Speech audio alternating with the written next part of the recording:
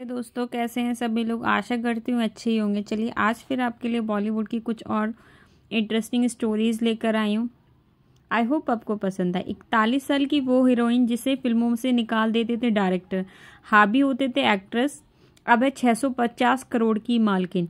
आज के दौर की भारतीय फ़िल्म इंडस्ट्री में वैसे तो ज़्यादातर वही स्टार्स बनते हैं जिनके पेरेंट्स या कोई रिलेटिव अभिनेता रहता है।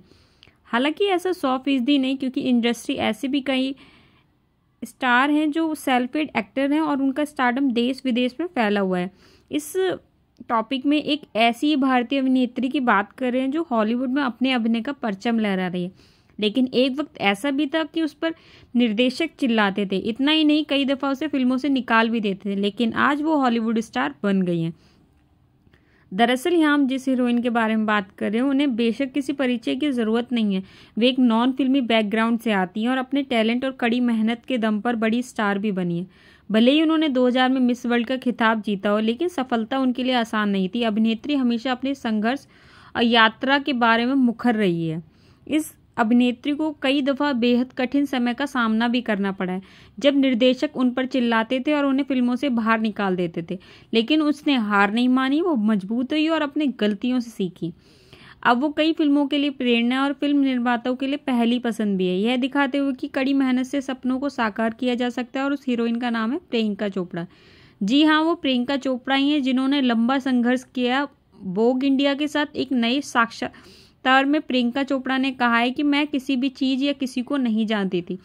निर्देशकों ने मुझ पर चिल्लाया, मुझे फ़िल्मों में डाल दिया गया, मुझे फ़िल्मों से बाहर निकाल भी दिया गया था। आप जितना अधिक बोलेंगे, उतना कम सुनेंगे और उतना ही कम सीखेंगे। अभिनेत्री का कहना है कि इतनी मुश्किलों का सामना करने के बाद मैंने खुद के लिए आत्म आत्मविश्वास को बढ़ाया। मैंने सीखा कि असफलता के बाद आप जो करते हैं, वही आपको सफल बनाता है।